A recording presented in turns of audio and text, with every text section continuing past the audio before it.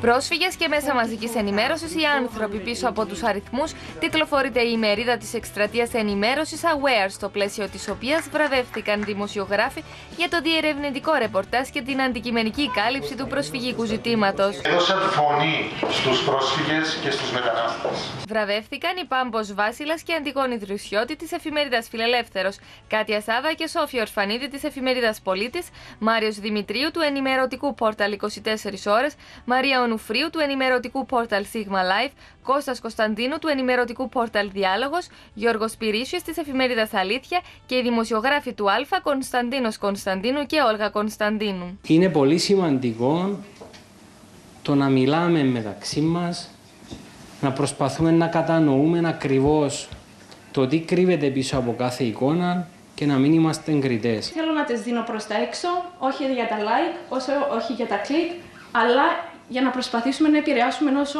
πιο πολλούς ανθρώπους μπορούμε, γιατί αυτό θεωρώ ότι είναι το σωστό. Τιμηθήκαν ακόμη δύο αθλητές με μεταναστευτική βιογραφία για τη συμβολή τους στην εκστρατεία, η Μίλαν Τράικοβιτ και Ανδρέας Μισιάρα. Journalists should be like a voice to speak and to let the people, the population, to understand that um, we, that the, the refugees are here. It's because of a problem they, they had, and they have to to run. Η εκστρατεία WEAR χρηματοδοτείται από το Ευρωπαϊκό Ταμείο Ασύλου Μετανάστευσης και Ένταξης και την Κυπριακή Δημοκρατία.